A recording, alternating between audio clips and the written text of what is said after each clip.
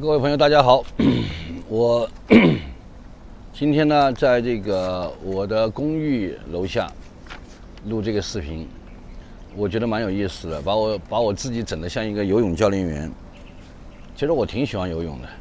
我们这个群组里面的朋友，包括呃我们以前那几个群，我给大家也拍过我游泳的英姿啊，开玩笑，开玩笑啊。这个牙缝牙缝不得了。我今天呢，呃，大概已经有足足一个月，超过一个月了，没有录视频。那么这一个月呢，说实话有点过分了，有点昏天黑地的，在那个金沙赌场，因为金沙赌场呢也送了好多天，应该超过一个礼拜吧，超过了一个礼拜的酒店。那住在酒店里面，大家知道，有时候就一方面呢，我本身我上一个视频我就说了，我是要去这个研发。测试所谓的陷阱摘果子这样的一个策略啊，所以说我要做大量的观察和测试。那么同时呢，真金白银的也得赌啊，对吧？呃，那么从观察和测试这两件事情上面来讲的话呢，呃，各占一半吧。就是我费的精力、花的时间，这上面是各占一半。那么我今天呢，就呃从回答上一个视频一些观众的留言，到回答我们群组里面的一些朋友、观众朋友，我们专门有一个观众群嘛。那么一些观众朋友提出来的一些问题，我我就从这些问题开始入手，然后呢，我就跟大家讲一讲我这段时间的这个。我这段时间的这个一些观察的心得，好吧，有可能这个视频时间会稍微长一点，呃，因为因为这个这个谈思路这个事情，一一展开以后呢，可能会稍微时间长一点啊。那么不感兴趣的朋友呢，就可以把它关掉，呃，或者分段听。我先回答一些二愣子啊，一些二货啊，一些回答。这些人，你们是怎么能编那么多故事来说我的一些事情呢？我在美国的时候呢，美国有一个，就是美国最底层的一个一个人，他就那个时候就到处编我的故事。当然了，我也故意给他放一些信息。我想，因为他底层的人嘛，底层的人呢，首先呢，他就喜欢看别人的笑话。你你好，他嫉妒；你不好，哎，他就开心了。所以说我故意就给他一些这些信息，哎，没想到他把他当成一些谣言就去发了，什么什么我在中国欠了几百万的债，逃到美国，还有什么我在美国已经我确实找他借过一包烟，我在美国已经穷到那个找他借烟抽，在美国因为去买烟，半夜我没烟抽。我跟他住在那个一个两房一厅嘛，也不是两房一厅，就是一个 house 里面的人家搭出来的一个装修的很好的一个两房一厅，在拉斯维加斯的时候，那我半夜没烟抽了嘛，我我我去赌场也远，超市也不开门，我就找他借一包烟，我借双喜还中华，你还要怎么样，对不对？那么呢，我也专门录了一个视频，就说我穷的没饭吃了，啊，你能不能借三百块钱给我？好了，这些事情就变成他到外面去。宣扬了，对吧？为什么要找他借三百块呢？因为我要测试他呀。他跟我号称到美国给我包吃包住的。我见到他第一眼，我跟大家说，我见到他第一眼，我就跟他说：“你千万别给我包吃包住了，只要你不让我给你包吃包住，就阿弥陀佛了，好吧？”那么呢，我我要我要跟大家讲的就是，我在新加坡目前我的会员卡上个礼拜给我升级，升级。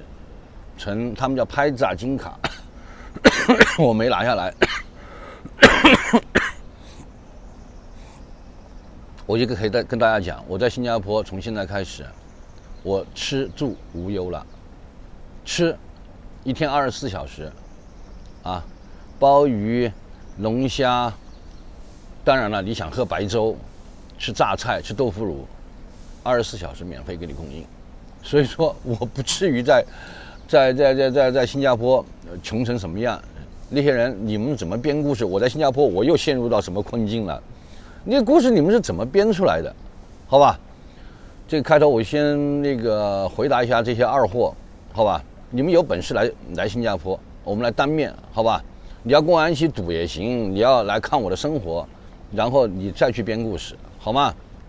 那么我总结这一句话，我就告诉大家，我目前是金沙赌场里面仅有的，我认为仅有几几个人在赢钱，几百个人吧，我估计都没有几百个人，大概也就百来个人吧。我是仅有的赢钱的几个，为什么？很简单啊，金沙的会员卡可以去机器上面去。刷看你的盈利的情况，当然了，它是它是估算的啊，它不是精准的，它是估算的。那么估算的话呢，也八九不离十嘛，对吧？或者说七八不离九吧，对不对？你可以来，你谁要敢跟我打赌，来我就刷出来给你看。或者你到新加坡来，我在机器上面刷，你跟我赌赌赌多少钱？你看我在这输钱还是赢钱？你看我在这里是不是困境到什么地步了？好吧？这这这这这都扯鸡巴蛋的事，我们就就就就不扯了，好吧？我真的叫扯鸡巴蛋。你看我要白白花几分钟在这扯这些事情，所以说你们那些留言的二货二逼们呢，就给我歇一歇，好吧？那么我就第一个呢，我就先回答上一个视频以及观众群里面的一个问题。呃，我上一次呢，我提到这么一件事，就是说，我认为赌场。我是首先啊，是通过一篇文章，呃，我们看到了，我我在前面以前的视频里面有讲，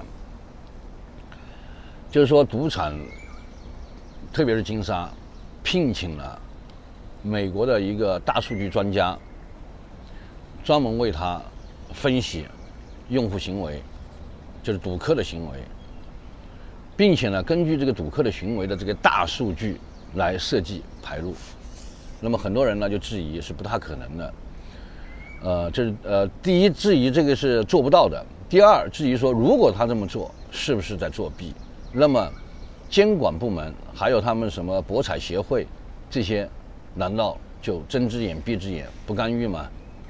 那么就这个问题来讲的话呢，因为我不是这个从业者，我也没资格从这个法律法规上面来回答这个问题。但是呢，我们可以从常理上面来讲这个问题。我现在没带啊，我们就讲啊，比如说啊，我和你两人对赌，我现在我做庄，我让你猜猜什么呢？猜一个硬币。我们比如说啊，猜一个硬币。那么这个硬币 现在由我放在左手还是右手，由你来猜。我请问你。我现在放在左手也好，放在右手也好，啊，我是我设计的，由你来猜，我算不算作弊？肯定不算嘛，对不对？这肯定不算的，为什么？因为这就是我们的游戏规则嘛。那么赌场也是一样的，赌场只要不在过程当中改变，什么叫过程当中改变？就是说，我现在明明放在左手的。当你猜左手的时候，我用一个作弊的手法把它放到右手，那么这就叫在过程当中作弊。他只要不在过程当中作弊，他提前把这个牌路设计好、安排好，不为作弊，好吧？这就是我回答的这个上一集视频里面的一个问题。但是这样的做的话呢，我个人认为呢，它就破坏了我们百家乐这个游戏的。随机性的这个属性，那么这个呢，就是说是大数据、人工智能给我我我我是这么看的啊，大数据和人工智能给我们人类带来一些负面的影响的一个开端，或者说一个一个例子，因为大数据有很多，其实我们是没感受到的，但是赌场呢，因为我们在这里时间比较多。那我现在已经看到了，它确实会给我们带来一些，怎么说呢？就是说我们对这个游戏的这个认识啊，它的属性已经变了嘛。那那那我们的思维也也应该就是说，随着它而变化。那么这这种人工智能、大数据、人工智能一旦大面积应用之后，我相信它好处肯定是很多啊，但是副作用，它的副作用是什么呢？我们人类的生活，这是我个人的观点，我我我感叹一下啊，我认为它的副作用就是将人类的生活越来越偏离自然性，因为随机性其实就是一种自然性嘛。并且呢，我们我们未来的双方呢，就是形成了一个，就是说你掌握大数据，掌掌握人工智能，它就是是一种一个控制方，我们呢就是变成了一个是被控制方。也就是说，他们掌握大数据和人工智能的，他们就是权力方。那么，我个人认为，人类最终就被这个权力方和主导方。让我们很悲哀的被控制，而权力方和控制方，由于他们的权力过大，最终他们会失控。所以说，我对这个人工大智能这个未来的这个前景。其实我是担忧，比这个担忧是比较多的，就是就好像我们现在读百家乐一样的，你现在已经是没有，已经不是以前的百家乐了，特别是在金沙。那么从这里呢，我再延伸一个话题，就是说，那个小燕姐聊赌场，我们以前就聊过，就是我们当然了，我们聊不是说这种对话，而是说她在她的视频里面讲，我在我的视频里面讲，我在她的视频留言，她在我的视频留言。我们就讨论过这个问题。我认为呢，像金沙集团这样的呢，就我再重复一遍啊，我就想把我这个全部讲明白。我认为呢，像金沙集团这样，它旗下世界各地有那么多赌场的这样的集团公司，它独立聘请了数学家团队、大数据专家，他是不可能把他的数据拿来去跟别别的赌场分享的。如果他去分享的话，那么也就是说，他的竞争优势何在呢？以及他的盈利的核心竞争力又何在呢？对吧？这是一个非常简单的逻辑，好吧？我只是我只是说想把我这些观点呢，呃，给大家多表达一点，好吧？对错，大家自己去判断，好吧？好，那么第二个问题就是，很多人就质疑了。就说赌场真的可以设置陷阱、排路陷阱吗？它是怎么设置的呢？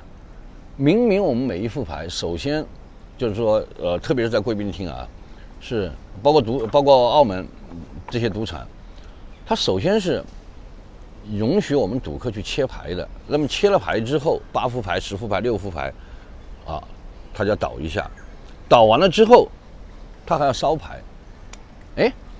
他是如何能做到？他设计的牌路仍然能完整的这个这个就是发出来啊？从牌路上面我们看，哎，他就就是这样的一个陷阱牌路，他就这样出来了。他是如何做到的？啊，这一点呢，咱们咱们老老实实说啊。肥摊曾经有一个视频呢，专门讲的这个，说实话呢，讲的不错，这个。这个 肥摊的这个，我我我我我我是要我是要赞同的，但是呢，它背后究竟是什么原理？目前没有人把它说明白，我也没把它想明白。但是从现象来看，它确确实实做到了，牛，好吧？他确确实实做到了。那么这里面呢，也就是说什么呢？他有他的一套数学的逻辑。好。那么呢，由此我就要给大大家提出一个观点来了，就是说，以前啊，我们在设计策略和打牌的时候，我们叫什么叫看路，我们叫看路打，对不对？啊，你信你的路，我信我的路，你有你有大路，我有下山路，什么什么什么什么，我们不管。可是今天。由于赌场使用了这样的手段，我刚才讲百家乐的属性已经改变了，这是非常非常重要的。我再重复一遍，百家乐的属性已经改变了，今天的百家乐已经不是两年前、五年前、十年前的百家乐了。这个我是要特别特别跟大家要要讲这么一个观点的。那么也就是说啊，你以前要看路，今天我要给大家的一个很重要的观点，就是你要用模块的方式来看它了。也就是说，每一个模块就是一个陷阱。当然了，它同时一定也会有那种真正的随机性的牌给你，啊，甚至还设计好路给你，就是我们喜欢的路给你，比如说长长龙啊、长单挑啊、长的啪啪连呐，呃，非常规整的这个这个两房一厅啊、三房一厅啊，啊，逢三就跳啊，逢四就跳啊。等等等等，这些规范的，这种这种这种我们喜欢的，啊，甚至是让你赢大钱的这种路，偶尔它仍然会给你。可是现在就变成什么呢？以前呢是随机性出现的，现在是给你设计出来的。那么，由于它有这个设计把控能力，就变成了什么呢？就变成了由由随它的性子来了。他愿意给你这种陷阱就陷阱，他愿意给你这种这种这种这种这种赢钱的好路，就由他来由他来决定了，很可悲。也就是说，我我们赌客很可悲。那么我相信呢，我们赌客对这个变化的适应，我个人认为啊，第一，大家需要时间；第二，很多人甚至要交不少。门票和过路费，门票和学费，我我个人认为是这样的，因为我自己就已经交了不少嘛，对吧？好，那么呢，我我我我我重申一下刚才的观点，就是说，现在大家已经不是用看路的方式来打牌了，而是用模块的方式，好吧？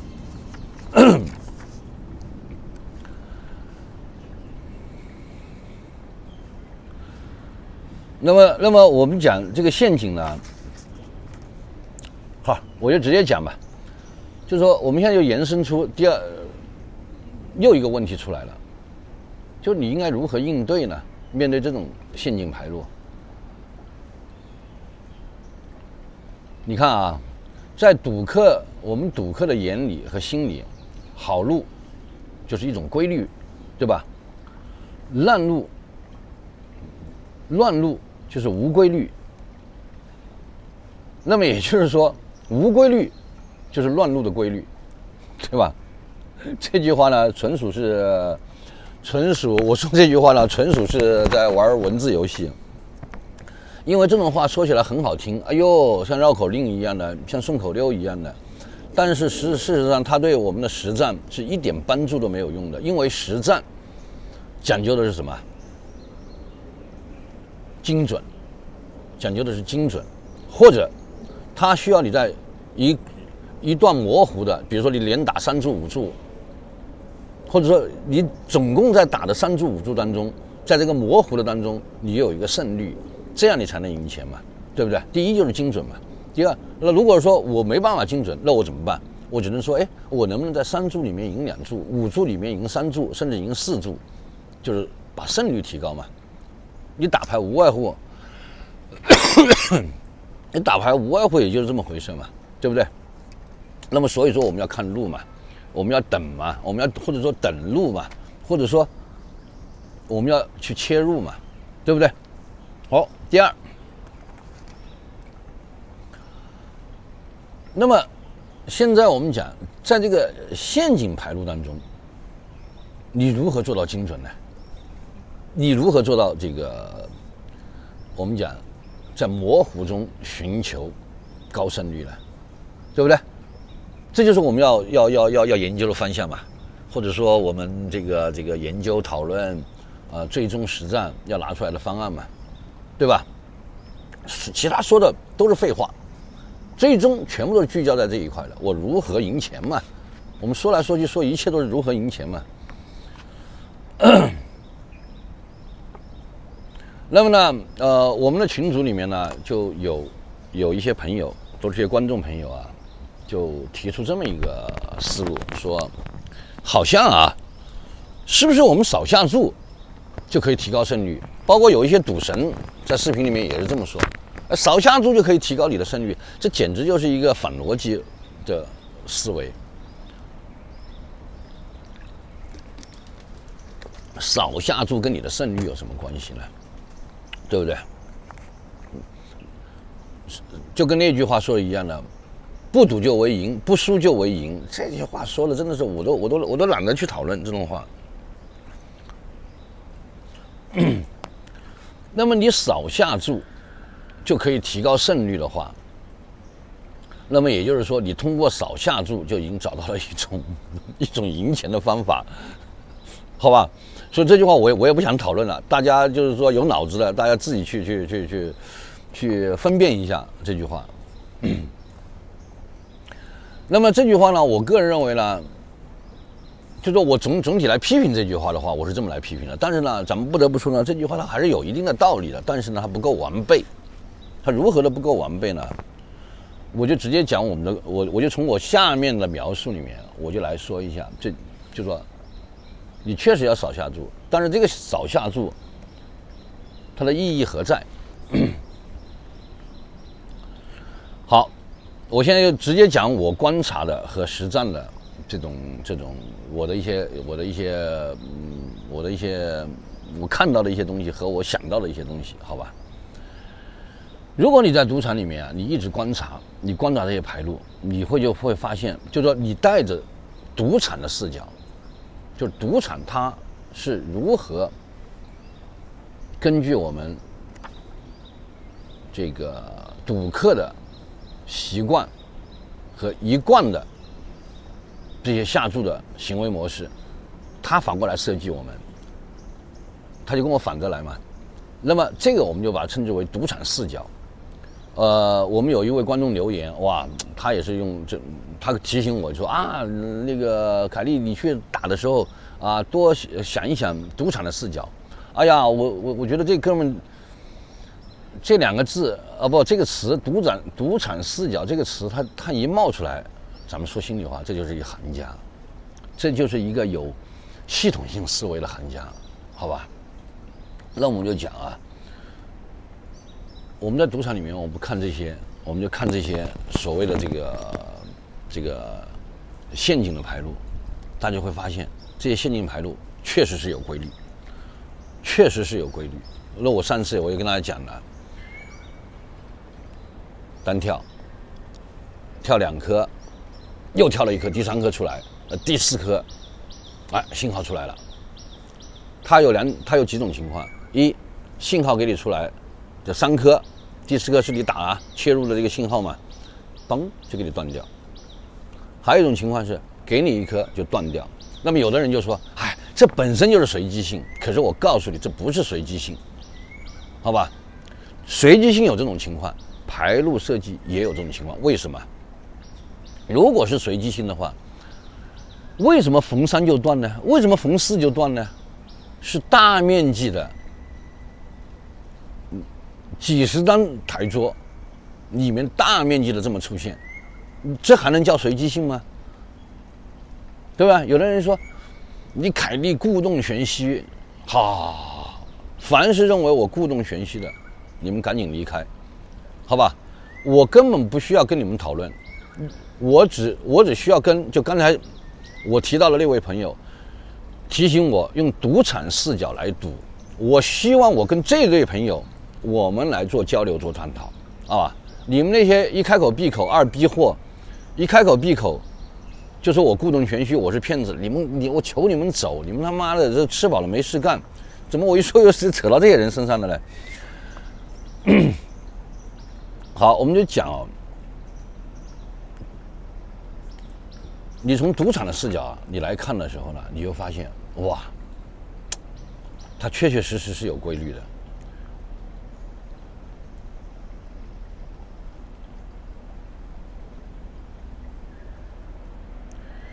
他反赌客的行为模式的规律，你呢？如果经过大量的观察之后啊，你会发现，第一真实存在，第二重复出现，这就有意思了。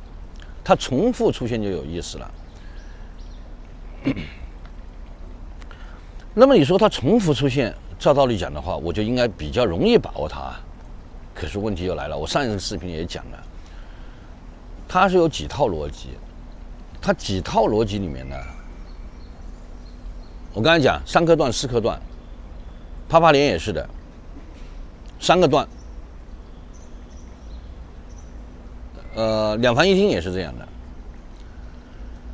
那么呢，它几套逻辑之后呢，它再给你在几套逻辑里面再加随机性，也就是说陷阱再加陷阱逻辑的随机性，随机随随机这个这个放出来。那么你从精准度上面你就非常难打了，很难把握，因为几套逻辑随机运行，几套陷阱随机运行。也就是说，比如说我现在在山里面，山里面。我是一头狼，啊，然后呢，他们给这个狼设下了陷阱，它有坑，有屎棒子，有网，各种各样的，他给你几套，而不是说我只躲过这一个坑就行了。你躲过这个坑，你可能，你可能碰到那根那根射击的，那个就是说你把那个线一碰，就一根箭射上来，这就是一种陷阱，对吧？还有。你碰到一个什么，前面哐一个铁笼子往下面一砸，把你关在里面，各种各样的这种陷阱，就陷阱不仅仅是地面的，它是立体的。